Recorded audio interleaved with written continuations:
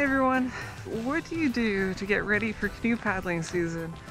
I actually come from a competitive rowing background where just about every single rowing club out there has rowing machines or what rowers like to refer to as ergometers. Fun fact for y'all, I'm actually a certified Canadian rowing coach and was heavily involved in the sport of rowing for many years. And for Ironman triathlon training, we naturally have the pool for swimming.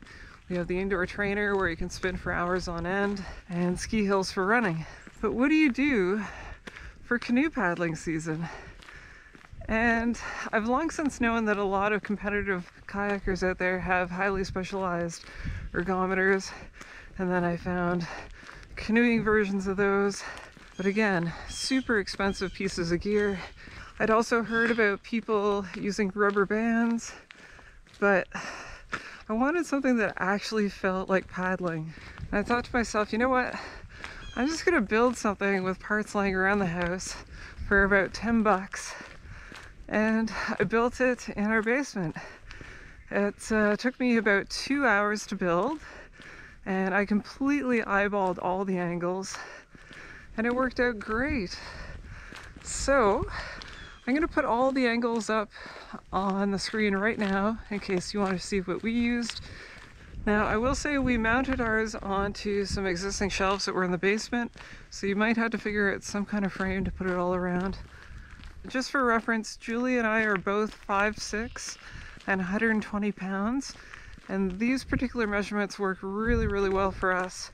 However, if you're a little bit taller or a lot taller, I might recommend putting that top pulley higher just because the distance the weight travels from the ground to that top pulley determines how long your paddling stroke could be on the other end.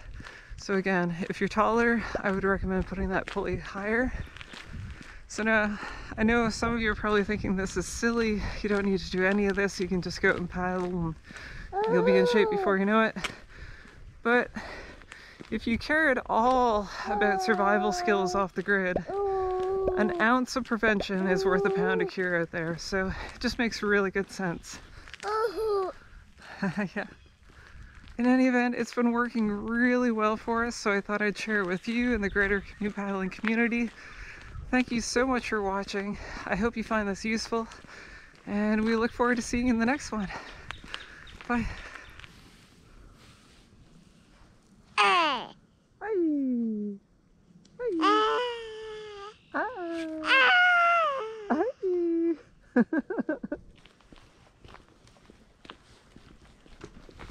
Good job, babes.